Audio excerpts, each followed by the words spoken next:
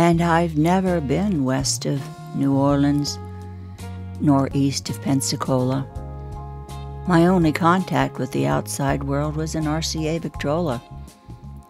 Elvis would sing, and then I'd dream about expensive cars. And who would have figured 20 years later I'd be rubbing shoulders with the stars? Life was just a tire swing. I remember the smell of the creosote plant when we'd have to eat on Easter with my crazy old uncle and aunt. They lived in a big house, antebellum style. And the wind would blow across the old bayou, and I was a tranquil little child. Life was just a tire swing.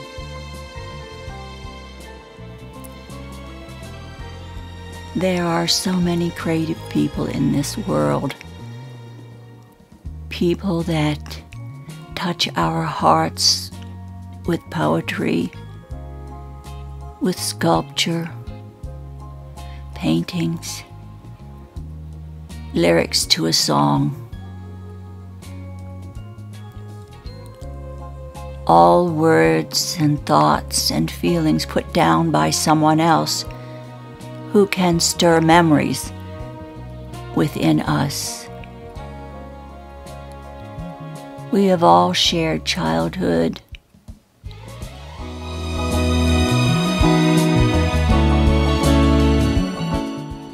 But there is always some creative soul who is able to make us feel better by listening to the lyrics their words that come from their heart to help us understand and to heal our own troubled hearts. Hello again, this is Sandra Hart, and welcome to my channel. Now, I know what you're going to say. I don't have a creative bone in my body. Well, that's not true everybody has some form of creativity within themselves. I bet when you sit down in front of a mirror and you lay out all of your makeup, you can paint that empty canvas and make yourself a beautiful, beautiful woman with makeup. That's creativity. And when you're in the kitchen and you whip up great meals for your family or for just yourself, that's creativity. If you like decorating your house, however big or small it is, that's your creative soul at work. And when you're creative, it boosts your brain power, it makes you happy, and it does a lot of positive things in your life. Throughout my travels, I've met so many creative people some of them have been able to really be successful applying their craft. Others have had to take a different type of work. But as long as they still hold on to their creativity and that part of their being, they're just fine. If you paint, if you write, if you sculpture, if you sing, if you sing in a chorus, if you sing in the shower, if you play an instrument, all of these things are forms of creativity. So everybody has a creative soul. And today I'm going to have a little fun with you, if I may. We're going to help you decide just exactly what type of creative being you are, because you are, whether you realize it or not. Life is more satisfying when you have a creative outlet. So let's decide exactly what type of creative person you are. There are A-listers, artisans, game changers, activists, and sensitive souls. Which one do you think you are? An A-lister loves being the center of attention. An A-lister loves the accolades and the applause and the attention that is garnered by her work. She enjoys being famous. It excites her. So in order for those type of creative people, they have to stay active to be constantly motivated because their work gives them purpose and self fulfillment and excitement in their lives. Now, if you are an artisan, you love the process of creating to the finished product. You don't care if you get paid for it. You don't care if anyone else sees it. You just love the process of creating and fulfilling your spirit through your creative endeavors. It doesn't matter if you're famous at all. It's just the art of creating that makes you so very happy. I have known people like that in my life. We once had a friend who was a wonderful sculptor. He did all of his work down in his basement, but he never would share it with anybody. He just kept all the pieces of sculpture down in his studio, and he didn't care if he became famous, and his work really was beautiful. But as a matter of fact, he didn't want the notoriety. He was just sculpting to fulfill his inner self and his inner creative self. And that's all that matters. So sometimes there are people like that, and they are put under the artisan category. If you're if you are a game changer, you always are asking, why not? You're trying to find a creative outlet that is different, that goes upstream to what perhaps everyone else is doing. You want to change the game, and your excitement comes from being different and trying new things and perhaps setting a groundwork for a brand new type of cooking, decorating, something that is a niche unique to you and you want to change the game about what everybody else is doing. Now, if you're an activist, you are going to use your creative endeavor to change society, to do something to help somebody else. So you reach into the depths of your soul to try to change the world, to try to attract people to you and convince them of the same like idea, of the same way to create a movement, to create a purpose, something of that nature would be a creative activist. If you join our cause and you're very passionate about it, whether it's political, whether it's for a social movement, that would be called an activist. Now, the sensitive soul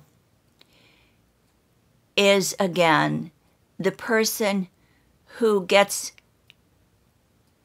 pleasure out of putting his feelings down in whatever medium he wants to work with. I have, each one of my three children, I have put them all in categories along with myself. And um, we're all different, but each of us, we're all a very creative family, but each, each of us falls into a different category. My oldest daughter is an artisan. She just loves to create for the sake of creating. She builds websites, she uh, designs things, she sews, she creates great pages. She now has a blog and a YouTube channel. And she's always been a very creative soul. And she's the one that cut the hair off of her doll, her tiny tears, because she was creating something different. So my oldest daughter is very creative. My middle child is an activist. She's extremely creative. She's an artist, she's a writer, but she uses her energy to try to get behind social causes, to make the world a better place, and to help others. And she is very good at gathering people to come along with her to change society. I mean, she does a lot of charitable causes. She's a foster parent to uh, horses and dogs and cats, and she's a wonderful mother, but she's always a great advocate. If there is a change that is needed in her community, she is one of the people that leads that charge. Now, my son, who is the singer and songwriter, is the sensitive soul. He expresses himself through his music, through his lyrics. All of his inside feelings come out through his music because he is so aware of his feelings, the feelings of others, and the feelings of the people in the world. But he expresses his entire emotion through his songwriting. The first hit that he had was the most played song of the year on rock radio, and he multiple, went multiple platinum. But it was a song that he wrote to me explaining to me how much he loved a girl that he had met when he moved out to Los Angeles. So all of his feelings he puts into words. So I would consider him a sensitive soul. So I have an artisan, an activist, and a sensitive soul. And I have to admit it, I'm an A-lister. Ever since I was a little girl, I loved doing little plays at home. I would invite all my little girlfriends on the nearby farms, and I would write plays, and we would act in the plays, and it was just really made me feel good. And I've always wanted to be an actress. I love being on the stage. I love that applause. I, I don't think I have a very big ego, but when I create, I really love the accolades. I really love the feeling that what I'm doing, other people enjoy and they like it. So that is payment for me. I don't need to be famous, but I want, I love the applause and um, I love performing in front of people, but that's just who I am. So all of us have a creative outlet. If you go in the kitchen and you're a marvelous cook and you make a fantastic dinner, don't you want people to say, wow, that was so delicious. What is that recipe? How did you do that? So we all can use our creativity in wonderful ways, but don't ever think that you are not creative because you are.